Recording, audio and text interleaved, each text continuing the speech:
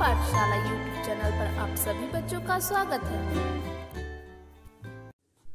Hello students आज हम पढ़ेंगे चैप्टर जिसका नाम है गिने तथा सही समूह पर सही का निशान लगाएँ।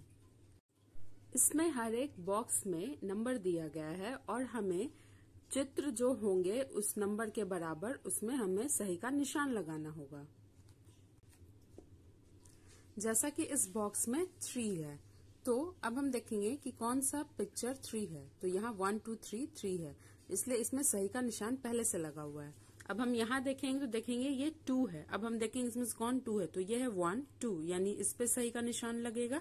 वन टू थ्री इस पे नहीं लगेगा और यह वन टू यानी इस पे सही का निशान लगेगा।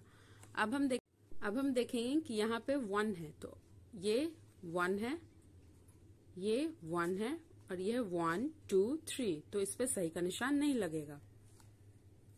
यहाँ टू है। तो यहाँ है वन टू इस पे सही का निशान होगा। वन टू थ्री ये नहीं होगा। वन वन यहाँ वन है। तो ये होगा वन है और ये होगा क्योंकि यहाँ भी वन पिक्चर है। और यहाँ पे वन टू टू है। अब यहाँ थ्री यानी वन टू थ्री यानी इस पे सही का निशान लगेगा।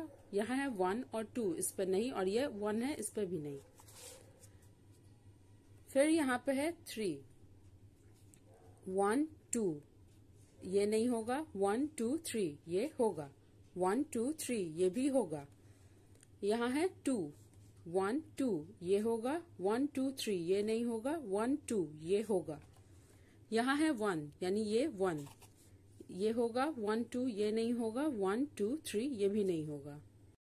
अब यहाँ जो दिया हुआ है नेक्स्ट उसमें लिखा हुआ है, संख्या के अनुसार गोला बनाए। यानी यहाँ टू है। तो यहाँ पे ऑलरेडी पहले से एक गोला बना हुआ है तो हम एक और गोला बनाएँगे। तो ये हो गया वन टू यहाँ है वन तो यहाँ पे वन बनाएँगे। यहाँ है थ्री तो यहाँ वन पहले से बना हुआ है टू और थ्री तो इस तरह से ये चैप्टर कंप्लीट हुआ। हमारा पाठशाला यूट्यूब चैनल को लाइक सब्सक्राइब एंड शेयर करें।